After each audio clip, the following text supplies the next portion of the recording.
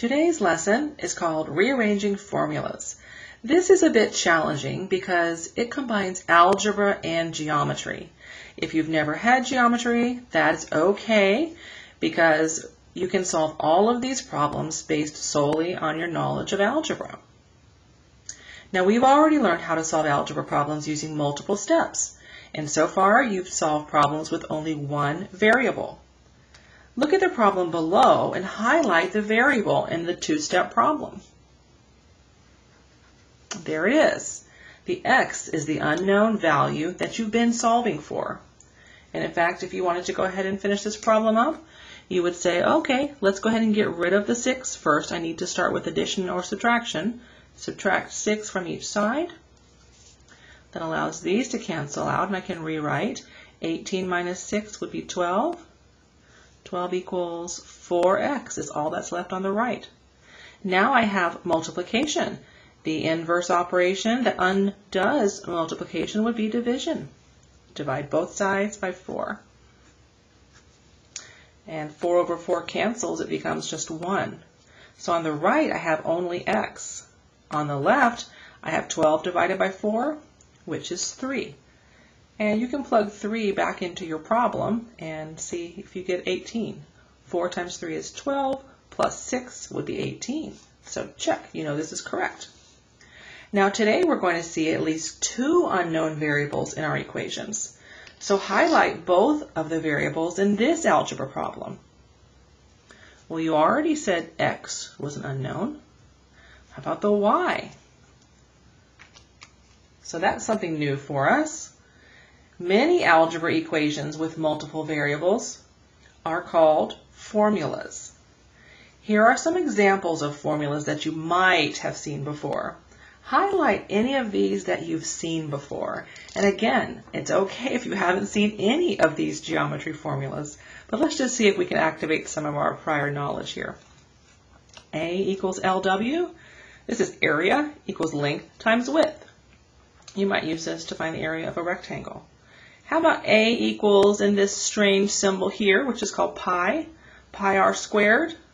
Anytime you see a pi symbol, you know you're working with a circle. This is the area of a circle. How about C equals 2 pi r? Again, you know you're working with a circle, and the C stands for circumference, which is actually the outside or the perimeter of a circle. P, perimeter, equals 2 parentheses L plus W. This might be how you would find the perimeter of, say, a rectangle. A equals 1 half BH. Area equals 1 half base times height. That's the area of a triangle. a squared plus b squared equals c squared, and that is the Pythagorean theorem. So again, you don't have to understand all of those. Just know that you have at least two unknown variables in each of these problems. For example, in the first one, you have A, L, and W. So let's go ahead and start with an easy formula today. Here is the formula for the area of a rectangle. A rectangle has a width and it has a length. And you know that a rectangle actually has a right angle, has one on all of its corners, which means that then the sides on opposite sides would have the same measurements. So the width on this side would be the same as the width on this side. Now notice that there are three unknown variables in the formula, A, L, and W. Usually you will solve for area, which is convenient because then you just multiply the number you were given for L times the number you were given for W. But sometimes you'll need to find the length or the width instead. And today I'm going to teach you how you can rearrange a formula like this to get L or W on one side by itself. Page 2. All right, let's stick with rectangles. Let's look at an example of a rectangle with a width of 4 centimeters and an area of 32 centimeters squared. In this problem, the length is unknown. We have the area, we have the width, and we have the length. Let's go ahead and highlight those. we know 32 centimeters squared is the area, and we know 4 centimeters is the width. So we know two of our three variables. Start with your formula for the area of a rectangle. A equals L times W. We need to find L. Let's highlight that. That's our target or our subject. Look what's being hap look what is happening to the L right now. It is being multiplied by the W. So use your knowledge of inverse operations to undo the multiplication between L and W. If you see multiplication, you can undo it with division. Of course, you always do the same thing to both sides. I want to leave L over there by itself, so let's get rid of the W. Both sides get divided by W. And you can cross these out. W over W becomes 1. And then I can rewrite down here, the length then is A divided by W. That's your new formula then after you've rearranged it. Now you only had to do one step to rearrange this formula. So let's go ahead and figure out what is the missing length of the rectangle. If I go way back up here, I find my area again, which is 32. So I put 32 for the A, and what was the width? 4. The length then is A divided by W, 32 divided by 4, which is 8, and the unit is centimeters. So 8 centimeters. Now let's look at some harder formulas that require more than one step to rearrange. Here is the formula for the area of a triangle. A equals 1 half BH. Area equals 1 half base times height. Suppose you were asked to solve for the height, which is h. Use your knowledge of inverse operations to rearrange the formula so h is by itself. And I'm going to go ahead and put that on a larger piece of paper just to make it easier to work with. So we know we want to solve for h. Let's highlight that. That's going to be our target our subject. So you ask yourself, what is happening to my h? Well, the first thing I see happening to it is it's being multiplied here by the b. So h was my subject. I'm going to draw another circle around the b. That's the next relationship that h has. And then the next thing that's happening to this whole circle here, BH together, is it's being multiplied by 1 half. Or really you could say it's being divided by 2. So both of these then are being divided by 2. What this reminds me of is an onion. I know that sounds silly, but this could be the center of the onion. This could be the next onion skin. This could be the next onion skin. If we had a larger problem, we could keep on going. Now, when you are going to rearrange this formula, think about it like that. Think about turning the equation into an onion. What you're going to do is you're going to go backwards now. You're going to use inverse operations, which is really the reverse of PEMDAS. And you're going to unravel the problem. So I went like this, one, two, three. Now I'm going to start with the outermost onion skin, the outermost layer, and I'm going to ask myself, what is being done between this onion skin and this onion skin? And we said that it was being divided by 2. So let's multiply then. Let's multiply both sides of our equation by 2. That will let me get rid of this right here. And we'll, we'll go ahead and put it here. 2 is being multiplied by each side in the numerator. That lets me cancel my numerator here with my denominator here.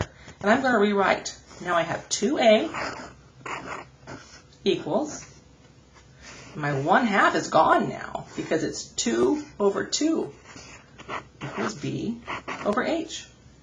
I'm almost there, but then I still have to get down to my h. What's happening here? We're gonna, we've already peeled off one layer of the onion, now we're at the next layer of the onion. What's happening between my b and my h? Multiplication. So the inverse then would be division. Undo it. And you have to choose here, are you going to put a b or an h underneath it? Well, you want to leave H by itself. That's the center of the onion. So do everything else. Divide both sides by B. Now my B's can cancel. And here I am. On the right side of my equation, I have an H.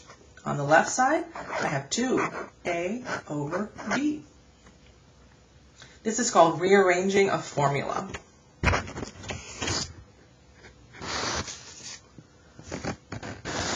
I'll just transpose it right over here. We had h equals, we said it was 2a over b. Now let's move on to the last page. I want you to try these few formulas on your own. Use your knowledge of inverse operations to rearrange the formulas. You can pause the video here and work on them, or you can just wait a second and go along with me.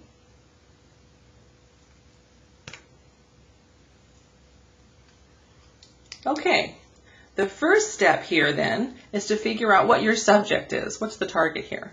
It says to solve for r right over here. I want to find the radius or r. Let's go ahead and think about this as an onion first thing though, okay? Pi r, you might not know, but pi means basically 3.14. That's being multiplied by my r. So, and the 2 is being multiplied by the pi. In this case, I think I'm going to keep my 2 and my pi together. There we go.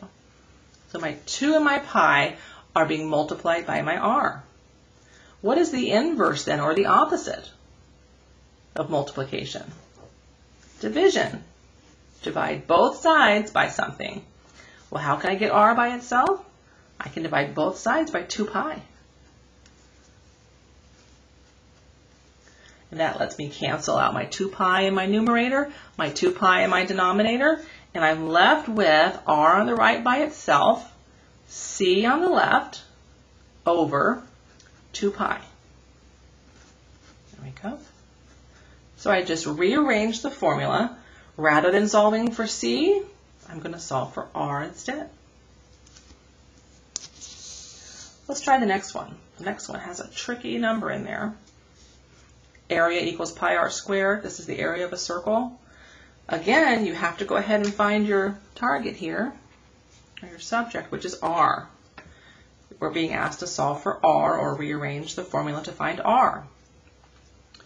If we're doing PEMDAS in reverse, we need to do this one last because an exponent goes like this. P, E, M, D, A, S. So we have our radius, which is being squared, and all of this then is being multiplied by pi. So I have a multiplication, and then I have an exponent. Now when you peel the onion back, you're going in reverse, so do the multiplication first. You're going this way now. So multiplication, divide everything by pi. There we go. That lets me cancel pi in my numerator, pi in my denominator. On the right side, then I still have r squared, a over pi. So how do I get rid of an exponent? What's the inverse operation of squaring something? Remember way back? You take the square root. There we go. These are always fun to draw. So the square root then cancels with my square. And on the right, I'm left with just an R for radius. But on the left, then I've got to keep this big old square root sign.